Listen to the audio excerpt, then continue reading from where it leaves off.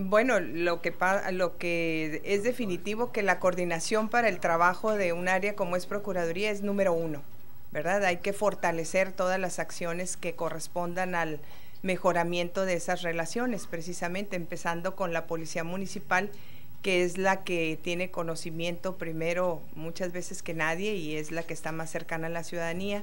Y bueno, definitivamente el trabajo de coordinación es número uno. Última pregunta, Sergio. Eh, solamente para estar de ahí bien seguros en cuanto a su bueno, mira, Sergio, yo creo que eh, ahorita en esta semana estaremos eh, precisamente concluyendo y analizando eh, pues el perfil de personas que integrarán pues los, los primeros niveles como los subprocuradores y directores en cada, en cada municipio.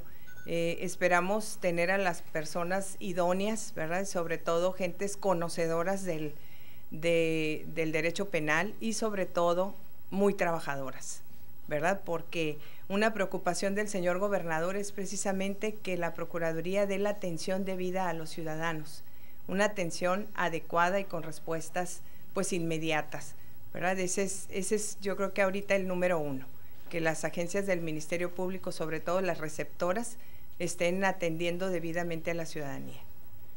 Y en cuanto a la corrupción, bueno, ahí hay eh, circunstancias importantes como hay una visitaduría y asuntos internos que se encarga de, la integración tanto de quejas como averiguaciones previas o carpetas, en este caso en Mexicali, relacionadas con denuncias eh, precisamente de gente que actúa indebidamente dentro de las corporaciones. Y es el seguimiento debido, ¿verdad? Ahí no hay ninguna otra circunstancia, solo eso. Muchas gracias. Muchas gracias, muy amables. Me da gusto volverlos a ver. Ya sé. Felicidades por su nombramiento. Ay, muchas gracias, Alicia, muy amables.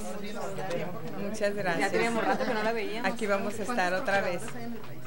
Eh, pues mira, yo nada más conozco la procuradora de Chihuahua, eh, creo que había otra procuradora en Baja California Sur y otra más eh, en un estado del centro, no recuerdo si es. Sí, así es. Creo que la primera fue la de Chihuahua. No estoy